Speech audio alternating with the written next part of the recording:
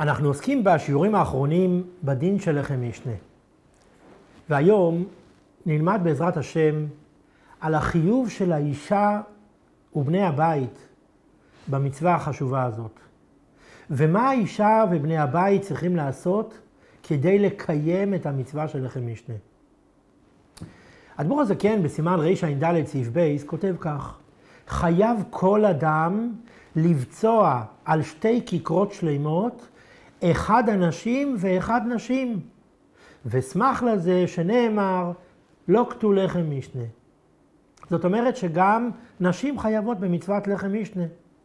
זה שנשים חייבות בלחם משנה הוא בעצם חידוש. כי לחם משנה היא מצווה שתלויה בזמן. שהרי החיוב בלחם משנה הוא רק בשבת ויום טוב. ונשים הרי פטורות ממצוות ועניינים שהזמן גרומה. אבל בכל זאת, נשים חייבות בלחם משנה. למה? אז הר"ן כותב בשם רבינו תם, שהסיבה לזה היא בגלל שאף הם היו באותו הנס, בנס של ירידת המן. זאת אומרת שהנס של ירידת המן היה לגבי הנשים בדיוק כמו לגבי הגברים. כי גם נשים ניזונו מהמן, וגם המן של שבת שירד עבור הנשים נלקט ביום שישי באופן של לחם משנה יחד עם המן של יום שישי שירד עבורם. אז אין סיבה שנשים תהיינה שונות מהגברים בזכר ללחם משנה שהיה בירידת המן של שבת שצריך לעשות. טעם כזה שאף הם היו באותו הנס נאמר לגבי כמה מצוות, כמו הדלקת נרות חנוכה וארבע כוסות, שגם נשים חייבות בהם, למרות שהן מצוות שהזמן גרומה, כי אף הם היו באותו הנס של הגזירה וההצלה וכולי. אז לפי רבינו תם, נשים חייבות גם בלחם משנה בשבת, שאנחנו עוסקים בה, מאותה סיבה. כי הנס של לחם משנה בירידת המן היה לגבי הנשים בדיוק כמו לגבי הגברים.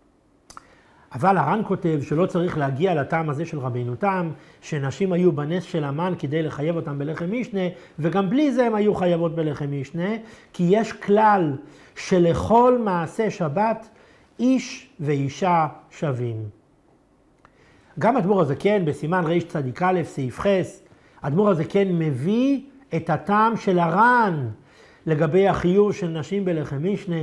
שהחיוב של נשים בלחם משנה הוא בגלל שלכל מעשה שבת איש ואישה שווים מטעם שנסבויר בסימן רע"א.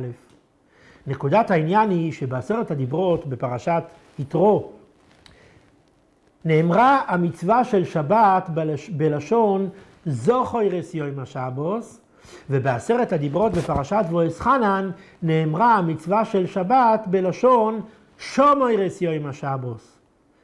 השמירה היא איסור עשיית מלאכה. הזכירה היא, מה שכתוב בסימן רע"א, היא מצוות קידוש, כמו שכתוב זוכר את יום השבוס לקדשוי. וחז"ל דרשו, כל שישנו בשמירה, ישנו בזכירה. ובמילא, אומר אדמו"ר הזקן בסימן רע"א, כיוון שנשים אה, חייבות בשמירה, זאת אומרת שהן אסורות בעשיית מלאכה בשבת, ממילא נשים חייבות גם בזכירה.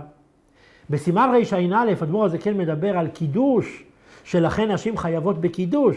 והיום אנחנו לומדים שהיסוד הזה שכל שישנו בשמירה, ישנו בזכירה, מתייחס לכל מעשה שבת, לכל ענייני השבת, שכל מי שאסור בעשיית מלאכה חייב בכל העניינים החיוביים של שבת, ובמילא אישה חייבת במצוות לחם משנה מאותה סיבה.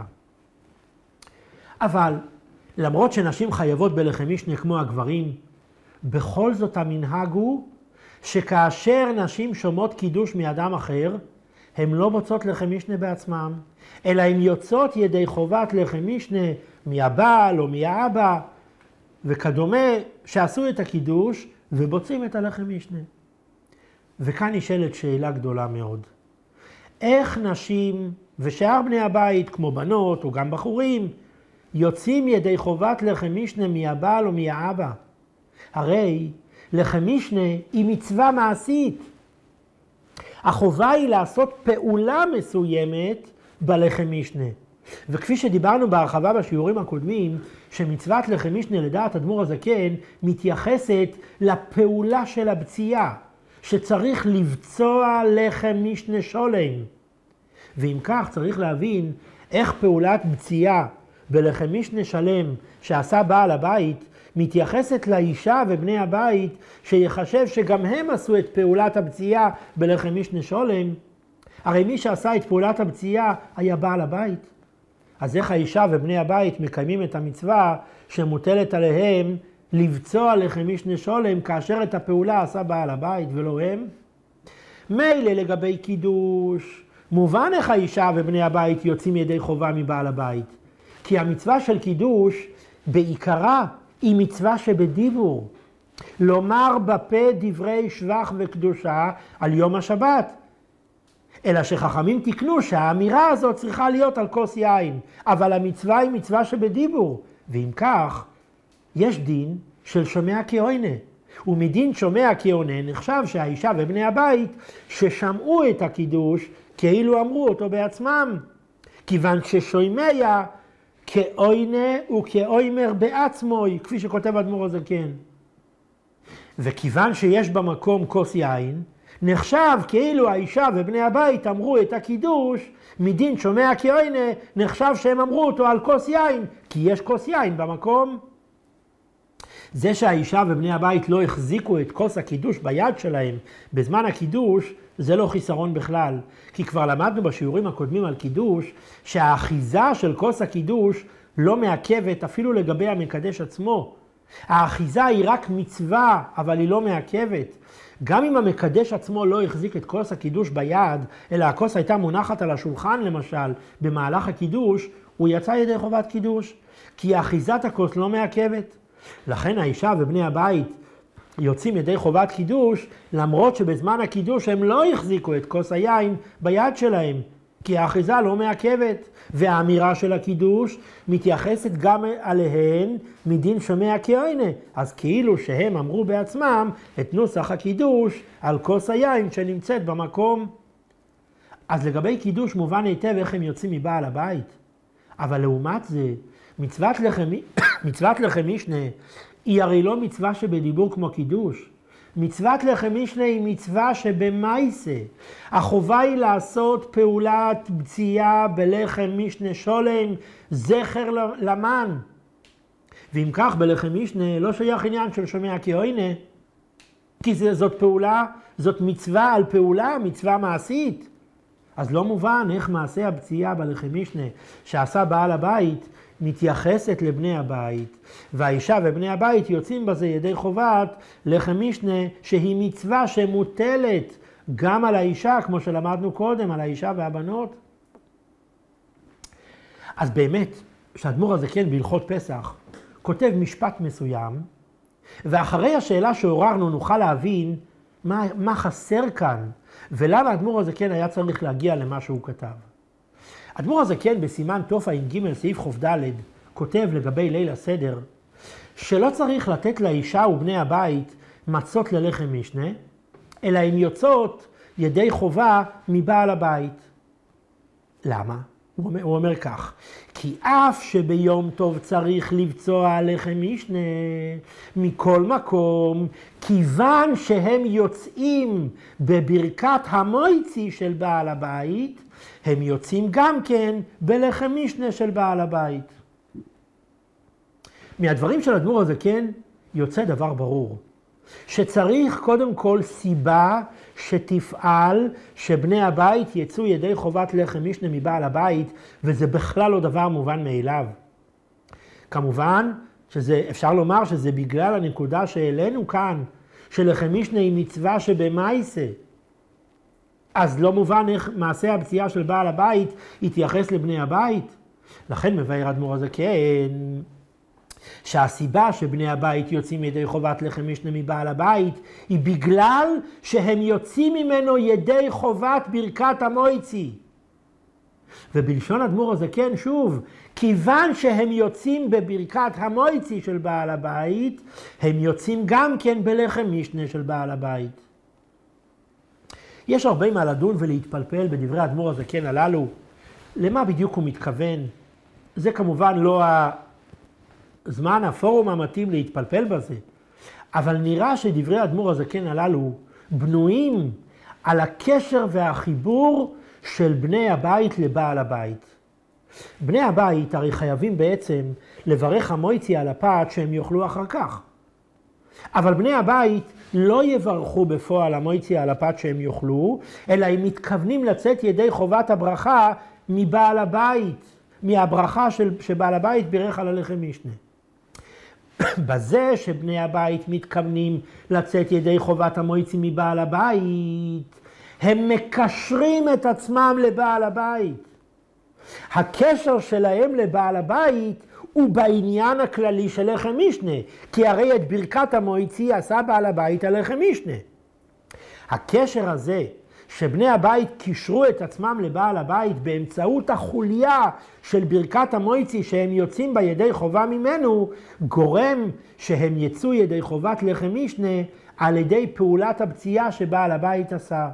כי היות שהם קשורים לבעל הבית, אז פעולת הפציעה שבעל הבית עשה מועילה גם עבורם. זה ממש מה שכתוב בלשון אדמו"ר הזקן. כיוון שהם יוצאים בברכת המויצי של בעל הבית, הם יוצאים גם כן בלחם משנה של בעל הבית. זאת אומרת, הקשר שלהם של, לבעל הבית שנוצר על ידי ברכת המויצי שהם יוצאים ממנו, גורם שהם יצאו ידי חובת לחם משנה על ידי פעולה שעשה בעל הבית, כי הם קשורים לבעל הבית. אז הפעולה שהוא עשה מועילה גם בשבילם. אם כך יוצא על כל פנים, שיסוד היסודות של האפשרות שבני הבית יצאו ידי חובת לחם משנה מבעל הבית הוא שהם יצאו ממנו ידי חובת ברכס המויצי, והם לא יברכו המויצי בעצמם.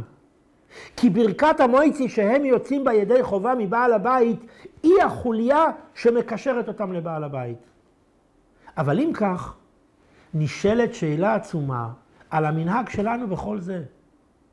כי המנהג שלנו הוא שבני הבית מברכים בעצמם המויצי על הפרוסה שהם מקבלים מבעל הבית, ובני הבית לא מתכוונים לצאת ידי חובת המויצי מהברכה שעשה בעל הבית.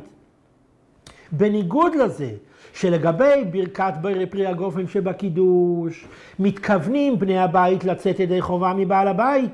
ובני הבית לא מברכים ברי פרי הגופן על הטעימה מכוס הקידוש, כפי שדיברנו באריכות בשיעורים על קידוש, וזה כדי שלא ייווצר מצב שלגבי בני הבית תהיה ברכת ברי פרי הגופן שהם בירכו בעצמם, אחרי ברכת היום שאותה הם שמעו מהבעל הבית, בקידוש, וזה יוצא כדעת בי שמאי, שקודם מברכים את ברכת היום, ואחר כך מברכים ברי פרי הגופן.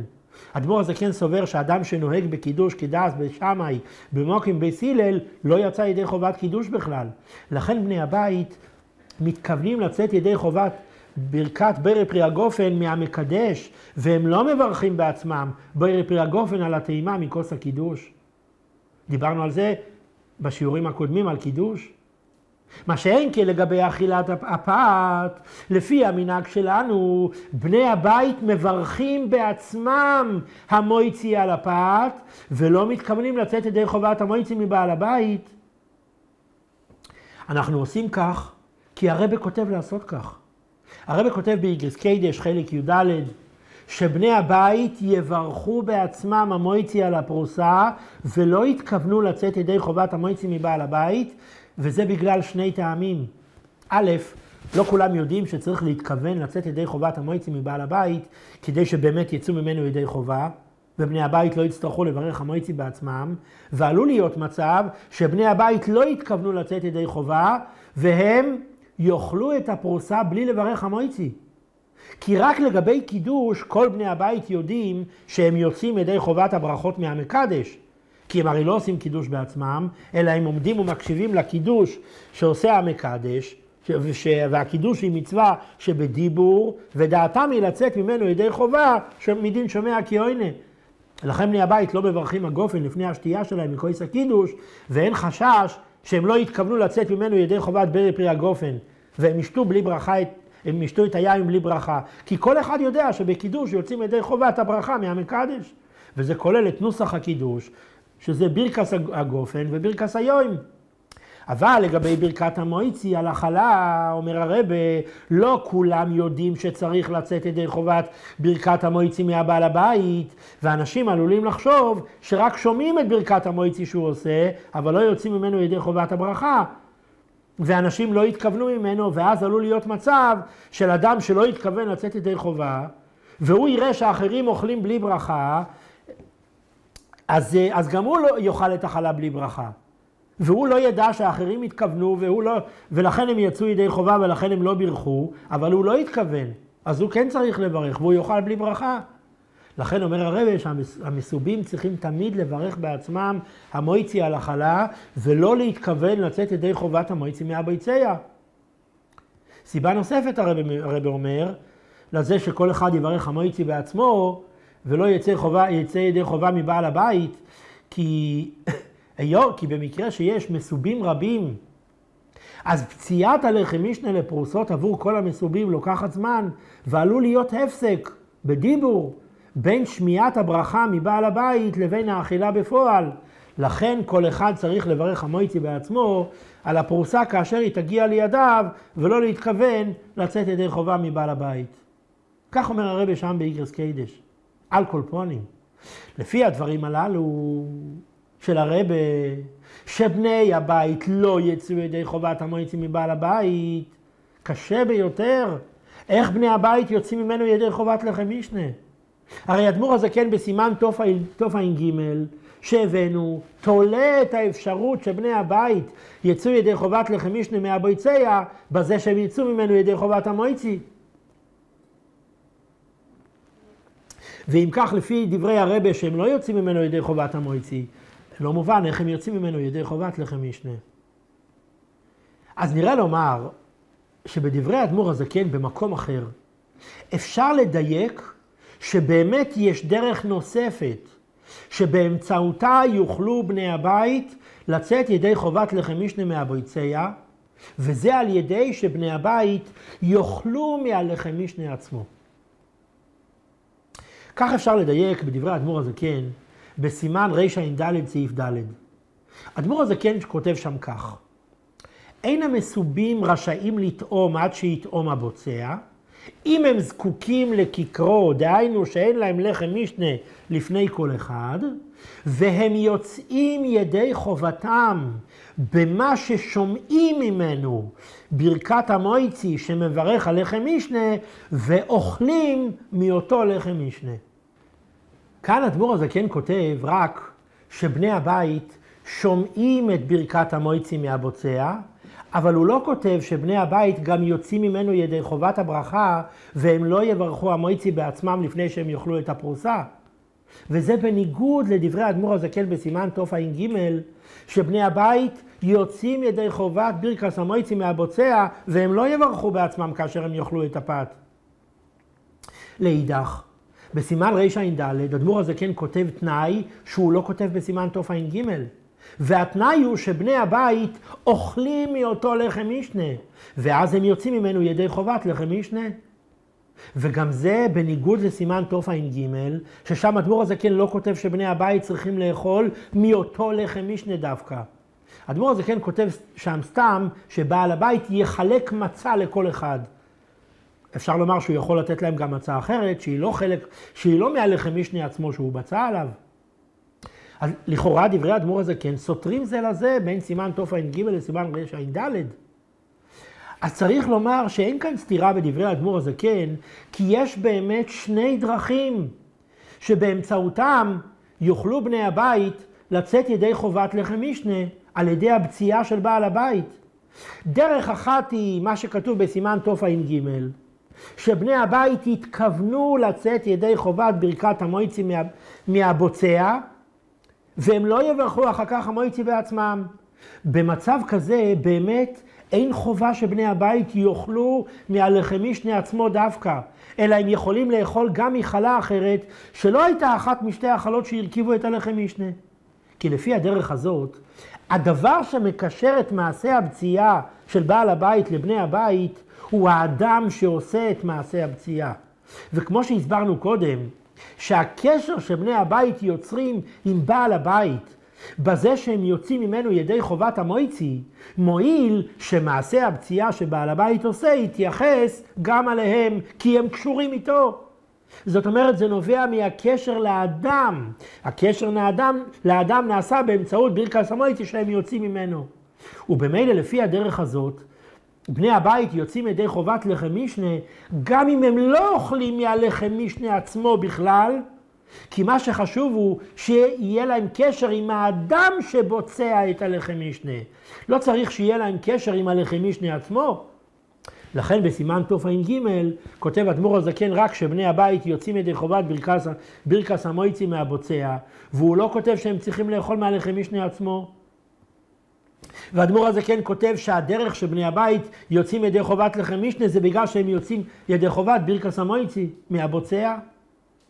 זו דרך אחת שבני הבית יצאו ידי חובת לחם משנה.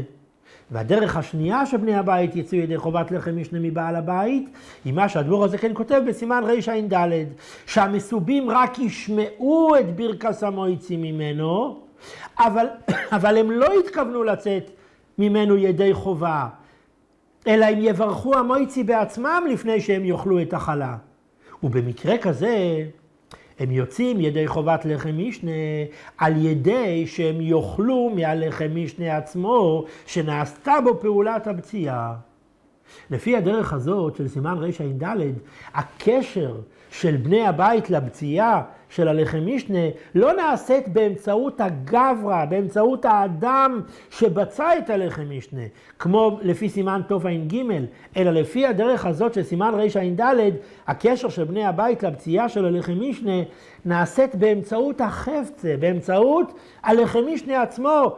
בני הבית קשורים ללחם משנה עצמו, על ידי שהם אוכלים ממנו, ועל ידי זה פעולת הפציעה שנעשתה בלחם משנה עצמו, מתייחסת גם עליהם.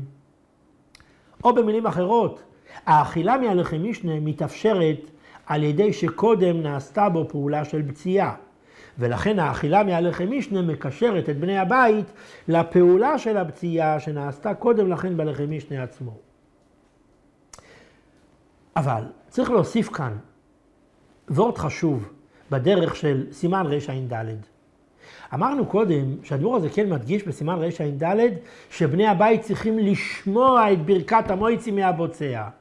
למה זה הכרחי שהם ישמעו את ברכת המויצי מבעל הבית? הרי לפי האופן הזה של סימן רע"ד, בני הבית לא יוצאים ידי חובת המויצי מבעל הבית, הם מברכים בעצמם המויצי. אז למה הם צריכים לשמוע את הברכה, את ברכת המויצי שהוא עשה על הלחם משנה?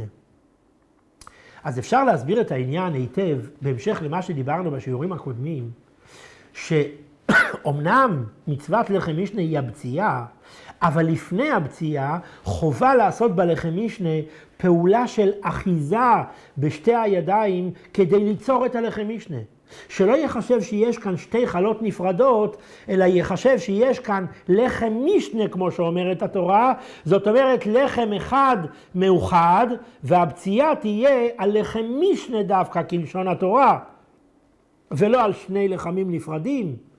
למדנו שלכן האחיזה של שני הלחמים צריכה להיות בזמן ברכס המויצי, כי ברכוסו אח שווה. הברכה נותנת חשיבות לפעולה של האחיזה ופועלת שיחול גדר לחם משנה על שתי החלות, כפי שהערכנו בשיעורים הקודמים. לפי זה אפשר להסביר בענייננו, למה בני הבית צריכים לשמוע את ברכת המויצי מבעל הבית, ולא מספיק שהם יאכלו מהלחם משנה. כי האכילה מהלחם משנה יכולה לקשר את בני הבית רק לפעולה של הפציעה. אבל עדיין אין לבני הבית קשר לפעולה של האחיזה בלחם משנה. והפעולה של האחיזה היא הרי הכרחית כדי לפעול שיחול על שתי החלות הללו גדר לחם משנה, שהם לא יחשבו שני לחמים נפרדים. ואם כך, גם אם בני הבית יאכלו מהלחם משנה עצמו, הם עדיין לא יצאו ידי חובת לחם משנה. כי לגבי בני הבית אין לשתי החלות הללו דין של לחם משנה בכלל. כי הם לא היו שותפים לפעולת האחיזה שאיחדה את שתי החלות. רק לגבי הבוצע עצמו, יש לשתי החלות הללו גדר משנה, כי הוא עשה את הפעולה של הבציעה בזמן ברכס המויצי. לכן אומר אדמו"ר הזה כן, שבני הבית צריכים לפחות לשמוע את ברכת המועצי מבעל הבית, כי אז כאשר הם שומעים את ברכת המועצי מבעל הבית, בשעה שהוא עושה את פעולת האחיזה בלחם משנה, גם בני הבית מקבלים קשר לפעולת האחיזה, ואז שתי החלות נחשבות גם לגבם בגדר לחם משנה. כי הרי ברכת המועצי היא זו שנותנת כוח לאחיזה לפעול גדר לחם משנה על שתי החלות, ברכוס או שווה. אז כאשר בני הבית שומעים ועונים אומן על אותה בר... ברכת המועצי שנעשית בשעת האחיזה ופועלת גדר לחם משנה, אז יש דין לחם משנה על החלות גם לגבי בני הבית, ואז הם יכולים לצאת ידי חובת לחם משנה על ידי האכילה מהלחם משנה כמו שהסברנו. לסיכום, לפי הדרך של סימן רע"ד, נדרשים שני דברים כדי שבני הבית יצאו ידי חובת לחם משנה. א', שבני הבית ישמעו את ברכת המויצי שעושה בעל הבית על החלות, ועל ידי זה פעולת האחיזה של החלות שפועלת שהם יחשבו בגדר לחם משנה מתייחסת גם לבני הבית. ב', שבני הבית יאכלו מהלחם משנה עצמו שהם בצעו עליו, ועל ידי זה פעולת הבציעה שנעשית בלחם משנה, שהיא פעולת המצווה של לחם משנה, תתייחס גם עליהם והם יצאו ידי חובת לחם משנה. לפי הדרך שדייקנו כעת בדברי האדמו"ר הזקן בסימן רע"ד, אפשר כבר לתרץ את השאלה הגדולה ששאלנו, לפי דברי הרבה ומנהג חב"ד, שכל אחד מהמסובים מברך המועצי בעצמו, והוא לא יוצא ידי חובת המועצי מבעל הבית, אז שאלנו אם כך, איך בני הבית יוצאים ידי חובת לחם משנה בכלל? הרי בסימן תע"ג הדבור וכן אומר שהם יוצאים ידי חובת לחם משנה רק בגלל שהם יוצאים ידי חובת המועצי. אז התשובה היא שלפי דברי הרבה במנהג חב"ד, בני הבית יוצאים ידי חובת לחם משנה כמו הדרך של סימן רע"ד. על ידי שהם שומעים את ברכת המועצי מבעל הבית ואוכלים מהלחם משנה עצמו שהם בצעו עליו. כמו שכותב אדמו"ר הזקן בסימן רע"ד. מכל זה נמצא שבני הבית לא יוצאים ידי חובת לחם משנה בדרך ממילא, על ידי שמיעת ברכת המויצי על הלחם משנה, אלא נדרש מהם עניין חיובי מסוים. לפי סימן תע"ג נדרש שהם יתכוונו לצאת ידי חובת המויצי ולא יברכו המויצי בעצמם, ולפי סימן רע"ד נדרש שהם יאכלו מהלחם משנה עצמו. נשים לב ששתי הדרישות הללו קיימות רק בלחם משנה ולא בקידוש. הרי בקידוש, השתייה של השומעים היא לא תנאי בקידוש בכלל. השומעים יוצאים ידי חובת קידוש גם אם הם לא שתו מהיין בכלל. אם המקדש שתה מלוא לוגמוב זה מספיק וכולם יוצאים ידי חובת קידוש. זאת רק מצווה מן המובחר שהשומעים יטעמו מהיין, ולא כמו בלחם משנה שלפי, שלפי הדרך של סימן רע"ד השומעים חייבים לאכול מהלחם משנה כדי שהם יצאו ידי חובת קידוש. אותו דבר לגבי הברכה על היין. זה שהשומעים לא יכולים לברך בוירי פרי הגופן על הטעימה שלהם, והם יוצאים ידי חובת הברכה מהמקדש, זה רק בגלל בעיה צדדית, שאם הם יברכו בעצמם ברי פרי הגופן, יצא שאצלם סדר הקידוש היה שקודם הייתה ברכס היוין ואחר כך ברכס הקידוש, והם נוהגים כבשמה במוקים בסילל. אבל לולא הבעיה הצדדית הזאת, לא הייתה מניעה מצד גוף הקידוש שהשומעים יברכו בעצמם בוירי פרי הגופן על הטעימה. וזה לא כמו בלחם משנה, שלפי הדרך של סימן תע"ג, אם הם לא יצאו ידי חובת ברכס המויצי, הם גם לא יצאו ידי חובת לחם משנה. מאיפה נובעים החילוקים הללו בין לחם משנה לקידוש? אז החילוקים הללו בין לחם משנה לקידוש נובעים מזה שמצוות הקידוש עיקרה היא בדיבור. ובדיבור יש כלל ששומע כעוינה, ובמילא לא צריך לעשות פעולות מיוחדות כדי שהשומעים יצאו ידי חובת קידוש, אלא עצם השמיעה שלהם מועילה, שיחשב כאילו הם אמרו בעצמם את הקידוש. ולכן לא צריך שהם יטמאו בעצמם מעיקר הדין, ולא היה אכפת לי שהם יברכו בעצמם ברפרי הגופן, לולא הבעיה הצדדית של בשמה במוקים בסילל. מה שאין כן מצוות לחם משנה, שעיקרה הוא במייסה, מעשה בציעה של לחם משנה שלם, לכן כדי לפעול שהברכה תתייחס גם לשומעים, צריך לעשות עניין מסוים. או שהם יצאו מהבוצע על ידי חובת ברכס המויצי, או שהם יאכלו מהלחם משנה עצמו, כמו, ש... כמו שהסברנו. למדנו אם כך שתי נפקמינות בין שני האופנים הללו של סימן רע"ד וסימן תע"ג. אחד, האם בני הבית מברכים בעצמם המויצי על, אכ... על אכילת הלחם משנה, או שהם יוצאים ידי חובת הברכה מבעל הבית? שתיים, האם בני הבית צריכים לאכול מהלחם משנה עצמו, או שהם יכולים לאכול גם מחלה אחרת שלא הייתה חלק מהלחם משנה? העניין הזה, שני האופנים הללו של סימן תע"ג וסימן רע"ד, יכול, העניין הזה יכול להיות נפקמינה גדולה למעשה במקרים נוספים. למשל, במקרה שעורכים בשבת סעודה להרבה אנשים. למשל, בבתי חב"ד בעולם, ואין במקום לחמניות קטנות אישיות שכל אחד מהמסובים יוכל לבצוע בעצמו לחם משנה, אלא יש כמות של חלות גדולות, ועוד לפני הקידוש פורסים אותם לפרוסות, ומניחים אותם בסלסלות על השולחנות, כדי שהמסובים יאכלו אותם בסעודה, ומכינים שתי חלות שלמות רק לפני האדם שעשה את הקידוש. הוא עשה את הקידוש, הוא מברך אחר כך על הלחם משנה, והוא מוציא את כולם ידי חובת לחם משנה. יש מקומות שככה סדר שם. ונשאלת השאלה מה צריך לעשות כדי שהמסובים יצאו ידי חובת לחם משנה. אז לפי הדרך של האדמו"ר הזה כן בסימן תע"ג, העניין פשוט יותר.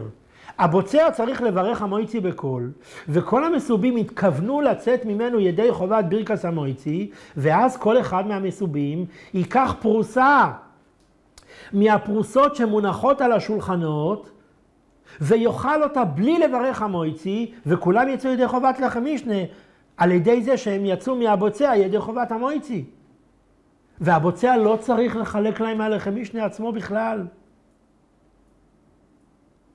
וייתכן עוד שאם מדובר בקהל קטן, שאפשר להסביר לו ולהדגיש בפניו שוב ושוב שכל אחד צריך לכוון לצאת ידי חובת המויצי מהבוצע, אז גם לפי החשש שהרבה מעלה, אפשר יהיה לנהוג כך. על כל פנים בשעה סדחק שאין מספיק לחם משנה לכולם, כי במקרה הזה, השליח, שהוא בוצע, הוא ידגיש בפני כל אחד כמה פעמים שכל אחד צריך לכוון לצאת ידי חובת המועצי והבוצע, כמו שהוא עושה את זה אה, לפני ברכה של תקיע שויפור ולפני הברכה על מיקרו מגילו, שצריך לצאת ידי חובת הברכות, אותו דבר פה הוא ידגיש בפניהם שצריך לצאת ידי חובה. במקרה הזה גם לא תהיה בעיה של הפסק בין הברכה לאכילה, כי הכינו מלכתחילה פרוסות חלה על השולחנות כדי שכל אחד ייקח מהם מיד אחרי המועצי. והמסובים לא צריכים לחכות עד שהבוצע ייתן להם מהלחם משנה שלו. ובמילא אין כאן אה, גם בעיה של הפסק, ואם כך ייתכן שבשעה סדחק אפשר יהיה לנהוג כך גם לפי החשש שהרבה מעלה. אבל זה רק כשיש קהל קטן, שאפשר באמת להדגיש בפניו את החובה וההכרח שכל אחד יכוון לצאת ידי חובת המועצים מהבוצע, אבל אם יש במקום קהל גדול, שייתכן שהוא בכלל לא ישמע את ההנחיה הזאת, או שהוא לא יבין את ההנחיה שכל אחד צריך לכוון לצאת ידי חובת המועצים מהבוצע, במקרה כזה לא נכון לנהוג באופן הזה שיהיה לכם משנה רק לפני הבוצע, והקהל יאכל מפרוסות שנמצאות על השולחנות. למה? משתי סיבות. א', אלה שלא התכוונו לצאת ידי חובת המועצים מהבוצע, יאכלו את החלה בלי ברכה, וזאת נקודה שהרבא מעורר. ודבר נוסף, אלה שלא התכוונו לצאת ידי חובת המועצי מהבוצע, גם לא יצאו ידי חובת לחם משנה. כי את הדרך של סימן תע"ג אין להם, כי הם לא התכוונו לצאת ידי חובת המועצי מהבוצע, ואת הדרך של סימן רע"ד גם אין להם, כי הם לא אוכלים מהלחם משנה עצמו, אלא מהפרוסות שסתם מונחות על השולחן. אם כך, כאשר יש במקום קהל גדול, שיש חשש שהאנשים לא יתכוונו לצאת ידי חובת המועצי מהבוצע, כמו שהרבא אומר, לא נכון לפזר את הפרוסות על השולחנות על דעת שכולם יצאו ידי חובת המועצי ככה מהבוצע. אלא צריך לנהוג כמו הדרך של סימן רע"ד דווקא, שכל אחד מהמסובים יאכל מהלחם משנה עצמו שבצעו עליו. זאת אומרת שכל אחד מהשומים ישמע את ברכת המועצי מהבוצע, ואחר כך הוא יברך בעצמו על הפרוסה מהלחם משנה שבצעו עליו. ואם הקהל הוא גדול ואין בלחם משנה של בעל הבית מספיק כדי לחלק פרוסה לכל אחד מהמסובים, אז אין ברירה אלא לשים למשל שתי חלות גדולות על כל שולחן. ובכל שולחן יהיה נציג שיברך ויבצע על שתי החלות, וכך אפשר יהיה לחלק לכל הקהל מהלחם משנה עצמו שבצעו עליו. ואת ברכת המויצי יברך כל אחד בעצמו, וכולם יצאו ידי חובת לחם לפי הדרך של סימן רע"ד. אפשר לומר נפקימינה נוספת בין שני האופנים הללו בדין של לחם משנה. ובהקדים, שבספר אשל אברום מבוצ'אץ' כתוב, והרבי מביא את הדברים שלו באיגרס קיידש, את השיטה שלו עצמה, שם כתוב כך, שאדם יכול לצאת ידי חובת לחם משנה מאדם אחר גם לפני שהוא נטל ידיים לסעודה. נניח שראובן עשה קידוש ונטל ידיים, והוא עומד לבצוע לחם משנה. ושמן רק סיים את הקידוש ולא הספיק עדיין ליטול ידיים.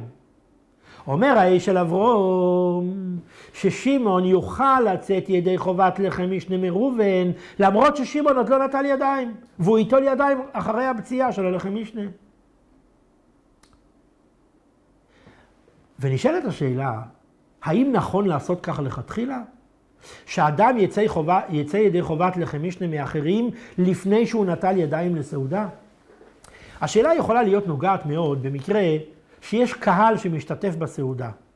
אם זה בקידוש בבית הכנסת או בשבת שבע ברכות. ואין מספיק לחם משנה לכולם, ונוצר לחץ כי בעל השמחה וחלק מהאנשים כבר נטלו ידיים ומחכים, וחלק רק סיימו את הקידוש ועוד לא הספיקו ליטול ידיים. או למשל במקרה שיש מעט ברזים לנטילת ידיים ויש קהל גדול שצריך ליטול ידיים, ו... יש כאלה שעוד לא הספיקו ליטול ידיים, ויש כאלה שכבר נטלו ומחכים לכל האחרים. אז נשאלת כאן שאלה הלכתית למעשה, האם לכתחילה צריך לחכות עד שהאדם האחרון שרוצה לצאת ידי חובת לחם משנה ייטול ידיים ויהיה מוכן, ורק אז לברך המויצי ולבצוע את הלחם משנה? או שלא צריך לחכות בכלל? כי הדין הוא כמו שאומר האיש של אברום, שאדם יכול לצאת ידי חובת לחם משנה גם לפני שהוא נטל ידיים לסעודה, ובמילא גם אלו שלא הספיקו ליטול ידיים, יכולים לצאת ידי חובת לחם משנה עוד לפני שהם נטלו ידיים. שפשוט יקשיבו לברכה ויצאו ידי חובת לחם משנה, ובכלל לא צריך לחכות עד שכולם יטלו ידיים. אז מה הדין? מה צריך לעשות? אז נראה לומר שגם העניין הזה תלוי בשתי הגישות שדיברנו עליהן. איך בני הבית יוצאים ידי חובת לחם משנה. לפי הגישה של אדמו"ר הזקן בסימן תע"ג, שבני הבית יוצאים ידי חובת לחם משנה על ידי שהם יוצאים ידי חובת ברכת המויצי מהבוצע, ובני הבית לא מברכים המויצי בעצמם כשהם אוכלים את החלה, נראה שנכון לחכות עד שכל המסובים יתלו ידיים, ורק אז לברך המויצי ולבצוע את הלחם משנה. וזה מכמה סיבות. א', היות שהמסובים יצאו ידי חובת המועצים מהבוצע, אסור להם לדבר עד שהם יאכלו את החלה. וכיוון שיש לא מעט אנשים שצריכים ליטול ידיים, זה עלול לקחת זמן. ואנשים עלולים לשכוח ולדבר, אז יהיה הפסק בין הברכה לבין האכילה. ודבר שני, אלה שישכחו וידברו, יצטרכו הרי לברך שוב המועצי על החלה.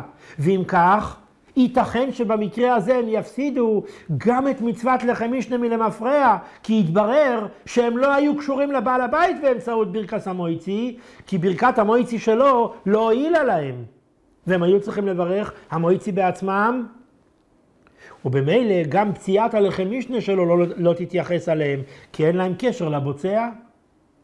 ודבר שלישי, גם במקרה שכולם יקפידו לא לדבר בין ברכת המויצי לבין אכילת אה, הפת על ידם, עדיין יש כאן מצב משונה. הם מברכים את ברכת על נטילת ידיים בין ברכת המויצי שהם כבר יצאו בה ידי חובה לבין האכילה של הפת. כי הרי קודם הם יצאו, שמעו את הפציעה ויצאו ידי חובת המויצי ורק אחר כך הם הולכים ליטול ידיים. ואומנם הדבור הזה כן כותב בסימן קס"ז סעיף י' שברכת על נטילת ידיים לא נחשבת הפסק בין המויצי לאכילה, כי ברכת על נטילת ידיים מצורך הסעודה, בכל זאת, נראה שלכתחילה לא נכון להביא למצב שאדם יברך על נטילת ידיים בין המויצי לבין האכילה, כיוון שסוף סוף הוא מפסיק במציאות בין המויצי לאכילה. גם אם מצד הלכות הפסק, הוא לא צריך לחזור ולברך המויצי, כיוון שההפסק היה לצורך הסעודה, אבל סוף סוף לכתחילה לא נכון לעשות הפסק כזה. יש דוגמה לזה מדברי המוגן אברום, לגבי אמירת הירוצנה לתפוח ב- ב- בלילה הראשון של ראש השנה, שהמוגן אברום סובר שלכתחילה צריך לאכול את התפוח ואחר כך לומר את הירוצן. למרות שבדיעבד, אם הוא אמר את הירוצן ואחר כך הוא אכל את התפוח, הירוצן לא נחשב הפסק בין הברכה לאכילה, כיוון שזה צרך האכילה. רואים מכאן את העיקרון שגם דבר שמצד הלכות הפסק הוא לא נחשב הפסק, כי זהו צרך הסעודה, בכל זאת לכתחילה לא נכון לעשות את ההפסק הזה, בלי צורך וסיבה הלכתית. אפשר לדייק את זה גם מדברי האדמו"ר הזקן בסימן קס"ז סעיף י' שהבאנו, גופה, שאת הדין הזה שברכת על נטילת ידיים לא נחשבת הפסק בין המויצי לאכילת הפת, אדמו"ר הזקן כותב במקרה של דיעבד. הוא לא כותב את זה במקרה של לכתחילה, שגם לכתחילה אין שום בעיה לנהוג כך שבעל הבית ייטול ידיים ראשון ויברך המויצי בקול, ובני הבית ישמעו ויתכוונו לצאת ידי חובה, ידי חובת המויצי, ואז הם ילכו ליטול ידיים. אדמו"ר הזקן לא כותב את זה באופן של לכתחילה, ואפשר לומר שזה באמת רק בדיעבד. כי לכתחילה לא נכון לבנות את הדברים בצורה כזאת, שקודם יוצאים ידי חובת המויצי ואחר כך מברכים על נטילת ידיים בין המויצי לאכילה, כי אמנם מצד הלכות הפסק, ברכת הנטילת ידיים לא נחשבת הפסק, אבל לכתחילה לא, לא נכון לעשות גם את ההפסק הזה.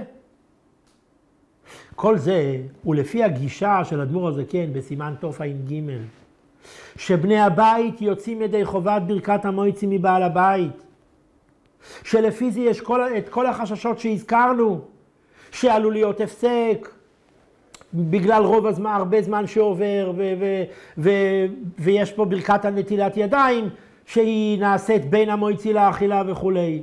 ובמילא לכתחילה לא נכון שבני הבית יצאו ידי חובת לחם משנה מבעל הבית עוד לפני שהם נטלו ידיים, אלא לפי הגישה הזאת של סימן תע"ג, עדיף שכולם יטלו ידיים. ואחר כך בעל הבית יברך המויצי, ויוציא את כולם ידי חובת המויצי, ואז הם יצאו ידי חובת לחם משנה.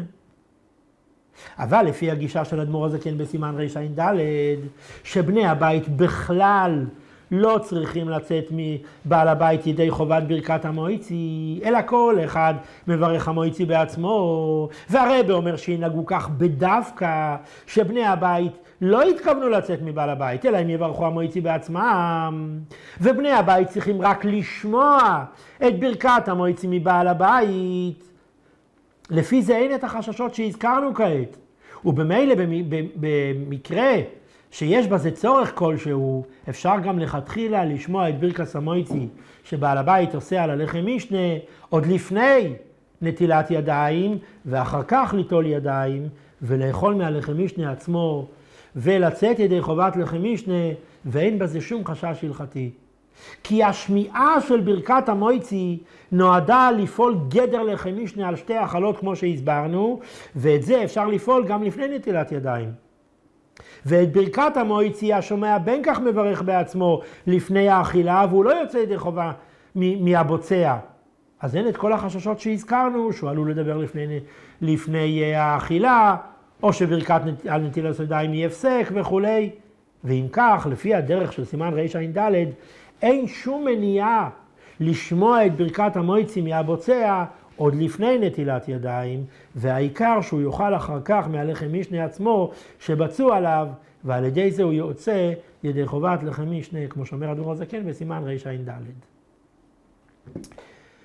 שתי הגישות הללו, איך בני הבית יוצאים ידי חובת לחם משנה, היא נפקמינה גדולה גם לגבי ליל הסדר. איך בני הבית יוצאים ידי חובת לחם משנה בליל הסדר? האם בני הבית יצאו ידי חובת לחם משנה מבעל הבית כמו בכל שבת, או שבליל הסדר יש עדיפות שכאשר יגיעו למויצי מצו, תיקח האישה שתי מצות שלמות ותברך עליהם המויצי בעצמה ותעשה לחם משנה בעצמה. כי הרי בליל הסדר, אנחנו יודעים שהסדר הוא שכאשר מגיעים למויצי מצו, מחזיקים ביד את שלושת המצות. זאת אומרת, את העליונה והתחתונה שהן השלמות, הם הלחם משנה. ביניהם נמצאת המצה האמצעית שהיא רק פרוסה ולא שלמה, ומברכים המויצי, אבל לא בוצעים מיד את, את אחת המצות השלמות של הלחם משנה, כמו שעושים בכל שבת ויום טוב, שמיד אחרי המויצי בוצעים את הלחם משנה, אלא בליל הסדר אחרי המויצי שומטים מהיד את המצה התחתונה, ומשאירים רק את העליונה והאמצעית, ומברכים על אכילס מצו, ואז בוצעים כזית מהמצה העליונה והמצה האמצעית, ומכניסים אותם יחד לפה ואוכלים אותם בהקדם. לפי זה, בליל הסדר, אין לבעל הבית זמן הגיוני שבו הוא יוכל לחלק לבני הבית מהלחם משנה שלו. כי בין ברכת המויצי ועל אכילס מעצו לבין התחלת האכילה שלו, הוא לא יכול להפסיק כדי לחלק מצה לבני הבית, כי אסור להפסיק בין הברכה לבין האכילה. באמצע אכילת שני הקזייסים גם אסור להפסיק. אז מה אמורים בני הבית שנטלו ידיים איתו ושמעו ממנו את הברכה, את ברכת המויצי על הלחם משנה, מה הם אמורים לעשות? האם הם צריכים לחכות עד שבעל הבית יסיים את אכילת שני הקזייסים שלו, ואז הוא ייתן להם לאכול מהלחם משנה שהוא בצע, ורק אז הם יתחילו לאכול את הכזית מצה שהם עצמם צריכים לאכול? הרי אם כך, קודם כל יהיה אצלם הפסק גדול בין נטילת ידיים לבין אכילת המצה שלהם, ועוד ועיקר, אם בני הבית יחכו לבעל הבית, יהיה אצלם הפסק גדול בין הקידוש לבין הסעודה. כי הרי דיברנו בשיעורים הקודמים שבליל הסדר מתקיים דין קידוש במקום סעודה במצה שאוכלים במויצי מצו. כי אמירת הגודל נחשבת כמו המשך להזכרת יציאת מצרים שבקידוש. ולכן, מיד אחרי שמסיימים את הגודל בשתיית הכוס השנייה, אומר אדמו"ר הזקן בסימן תפ"ב סעיף א', צריך ליטול ידיים ולאכול את המצה כדי שהקידוש יהיה במקום, הסעוד, במקום של הסעודה, שה, שהסעודה תבוא מיד אחרי הקידוש. ואם כך, אם בני הבית ימתינו עם אכילת המצה שלהם עד שבעל הבית יסיים לאכול את שני הקזייסים שלו והוא יוכל לתת להם מצה מהלחם משנה שלו, ייווצר אצל בני הבית הפסק גדול בין הקידוש לסעודה, והקידוש שלהם כבר לא יהיה במוקים סעודה. אז נשאלת השאלה, מה יעשו בני הבית בליל הסדר עם העניין הזה? אז לפי מה שלמדנו יוצא שהפתרון בליל הסדר לעניין של לחם משנה לבני הבית תלוי בשתי הגישות שדיברנו. איך בני הבית יוצאים בכלל ידי חובת לחם משנה מהבוצע. לפי הגישה של סימן תע"ג, שבני הבית מקיימים את מצוות לחם משנה על ידי שהם יוצאים ידי חובת ברכת המויצי מבעל הבית. והסברנו שלפי זה הם יכולים לאכול גם לחם אחר, ואין הכרח שהם יאכלו דווקא מהלחם משנה שבצעו עליו. לפי זה אין שום בעיה ושום תסבוכת בליל הסדר. כי בני הבית לא צריכים לאכול מהלחם משנה של בעל הבית. אז הסדר הוא מאוד מאוד פשוט. בני הבית נוטלים ידיים יחד עם בעל הבית, שומעים מהבעל הבית את ברכת המויצי ומתכוונים לצאת ממנו ידי חובה, ואז הם אוכלים מיד ממצה אחרת שיש להם בלי לברך עליה המויצי. והם לא צריכים לחכות שבעל הבית יוכל לתת להם מה, מהלחם משנה שהוא בצע. כי גם בלי זה הם יוצאים ידי חובת לחם משנה, על ידי זה שהם שמעו את ברכת המויצי מבעל הבית והתכוונו לצאת ממנה ידי חובה. אבל לפי מה שהרבה כותב, שבני הבית לא יצאו ידי חובת ברכת המויצי מבעל הבית, אלא כל אחד יברך המויצי בעצמו, ולכן מנהג חב"ד הוא כמו הגישה של הדבור הזה כן בסימן רע"ד, שבני הבית יוצאים ידי חובת לחם משנה על ידי שהם אוכלים מהלחם משנה שבצעו עליו. לפי זה בני הבית לא יכולים לאכול מצה אחרת אחרי ברכת המויצי של בעל הבית, כי הם חייבים לאכול מהלחם משנה כדי לצאת ידי חובת לחם משנה. אבל בעל הבית הרי לא יכול לתת להם מהמצה שהוא בצע, עד שהוא יסיים לאכול את שני הקזייסים. ובני הבית לא יכולים להמתין עד שהוא יסיים לאכול, כי אז יהיה להם הפסק גדול בין הקידוש לבין הסעודה.